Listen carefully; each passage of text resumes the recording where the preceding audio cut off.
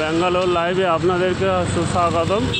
আমি এখন আমার লাইভে ঠিক ছবি ক্লিয়ার হচ্ছে না বলে আমি এইভাবে ভিডিও শ্যুট করে আমি ওটাকে পোস্ট করছি। বন্ধুদের কাছে অনুরোধ করব আমার এই সব ভিডিওগুলো দেখার জন্য। রিয়েল লাইভ ব্লগে আপনাদের সকল আমার বন্ধুদেরকে জানাই হনুমান জয়ন্তী উপলক্ষে আন্তরিক প্রীতি, শুভেচ্ছা অনেক অনেক ভালোবাসা। তো আমার এই ভিডিওগুলো আপনাদেরকে দেখার জন্য অনুরোধ করব।